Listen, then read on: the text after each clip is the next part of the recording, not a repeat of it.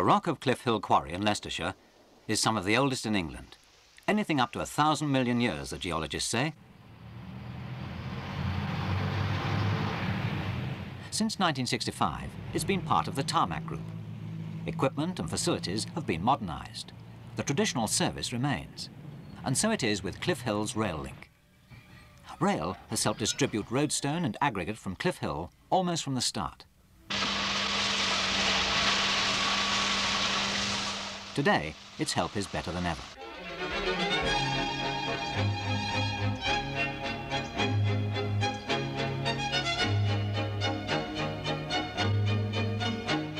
If the 1980s is the age of the train, then it's especially the age of the company freight train. Every working day, these tarmac wagons make the journey southwards to London and back again, trying to keep pace with the capital's demand for roadstone. The stone is unloaded at the company's new plant at Hayes in Middlesex, and a 50% grant from the Department of Transport helped to pay for the new facilities. The wagons can be unloaded at the rate of 1,250 tonnes an hour. That's about the capacity of a typical train, too.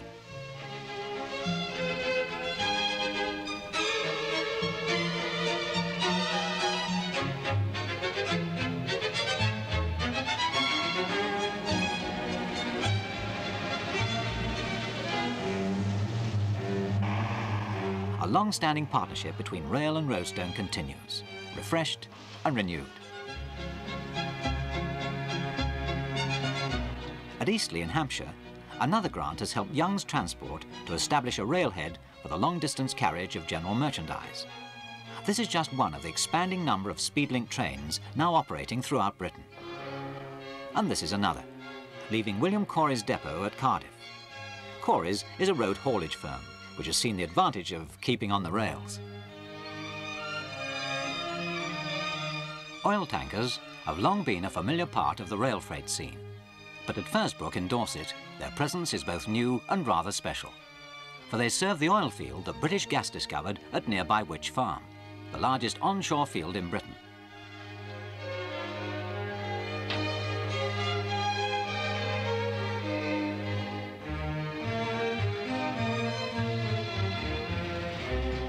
The railhead is hidden from distant view by landscape banks. The casual visitor to the area would hardly know it or the oil field was there. The crude oil is taken to Llandarcy refinery in South Wales. British Petroleum is a partner in the enterprise. For the early 1980s, a flow of well over 200,000 tonnes a year is expected, a business developing very much along the right lines. Underneath the city of Glasgow, the right lines are taking a rather different form. A new kind of track is being laid in an old kind of tunnel. For nearly all its days, this tunnel served steam trains. Now it's to be reopened with an electrified service. The use of track laid on a continuous concrete bed means that the tunnels won't have to have their roofs raised to take the overhead wires.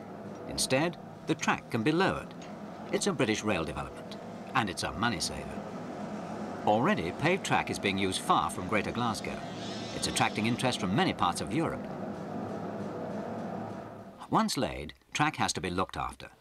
This class at BR's school at Briar Hill in Northamptonshire is catching up on some of the latest techniques of maintenance. These men are foremen, and they'll take back their new knowledge to teams all over Britain.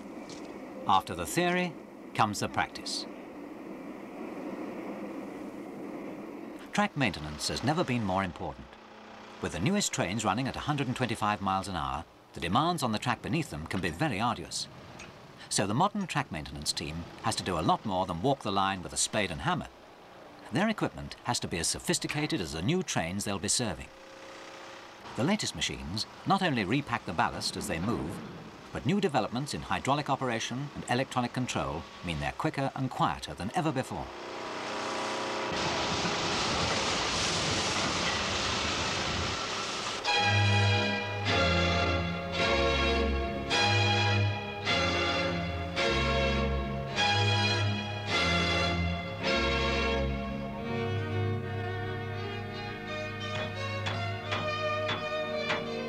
But maintenance isn't much good unless you have really good track to begin with.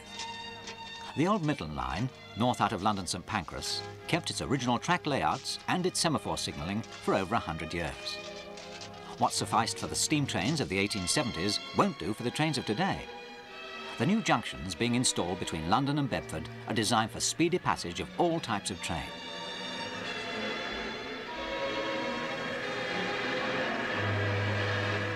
The whole layout has been remodelled. Junction speeds will be increased by 20 to 50 miles an hour.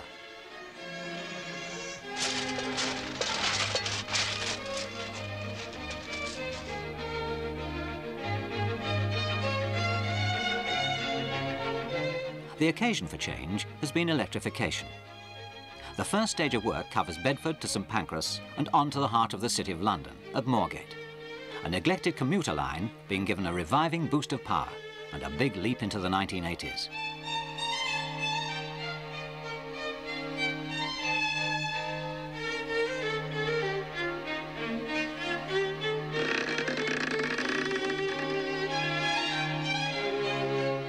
Where the tracks stop, Sealink ships take over.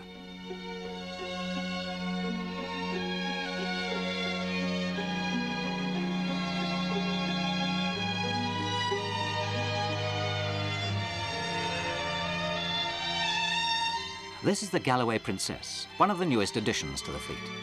It ferries passengers and vehicles between Stranraer and Larne, bringing modern standards of comfort and convenience to a long-established service. Close the doors, settle back in your seats. The Express to France is just about to leave.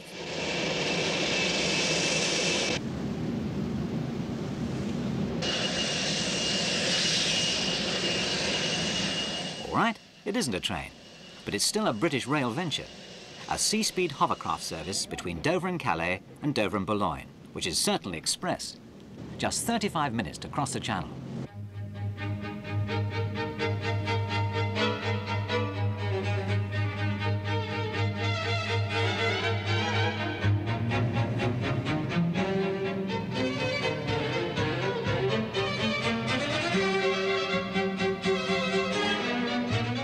SRN-4 is the world's biggest hovercraft. It shuttles its hundreds of passengers and dozens of cars between purpose-built terminals on either side of the channel in air cushion comfort and at 60 knots.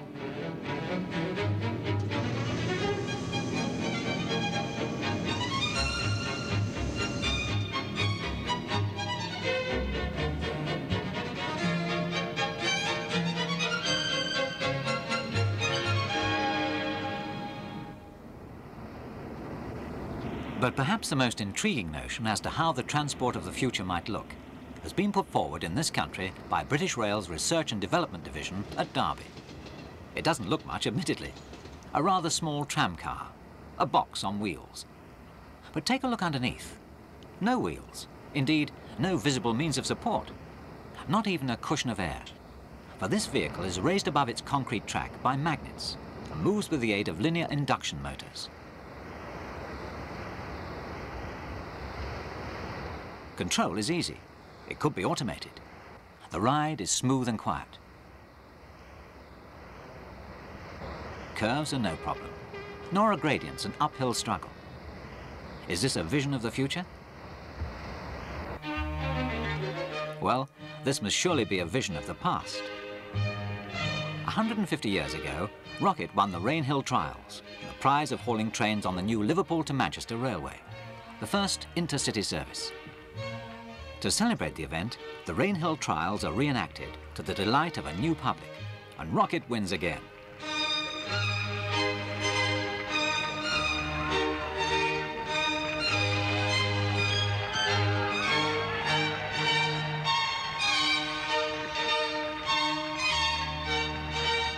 Its old competitor, Sans Pareil, needs a helping hand from Lion to complete the course, which isn't quite true to history. Here, history does repeat itself. King George V, back on its old stamping ground, heaves a packed train of enthusiasts out of Paddington on a special to Didcot.